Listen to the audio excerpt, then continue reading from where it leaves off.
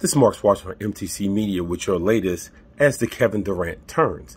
And as of this morning, it was that Kevin Durant has this desire to go to the Philadelphia 76ers.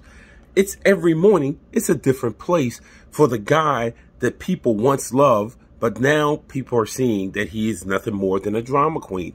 The problem with Kevin Durant going to Philadelphia, the one of many, would be the fact that we all know how Joel Embiid can be. When he gets in his little moods, he tends to passive aggressively criticize people over Twitter or criticize people in the media, just as Ben Simmons. And now you have Kevin Durant, the king of the burner accounts, along with Joel Embiid, the guy who claimed that he by himself was the process.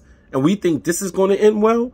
Kevin Durant left what is the banner organization in basketball today, the Golden State Warriors, who did nothing, nothing but win when he was there. Two titles, MVPs. Yes, they lost a title when they were dinged up physically, but that wasn't enough. Kevin Durant still found some sort of way to be unhappy. And he is destined to be unhappy no matter where he goes. This isn't a Brooklyn Nets problem. It's not a Steve Nash uh, problem, even though he is woefully underqualified. It is not a problem anyone else's. It's a problem of Kevin Durant and his 7,000 burner accounts. It's Marks Washington on MTC Media.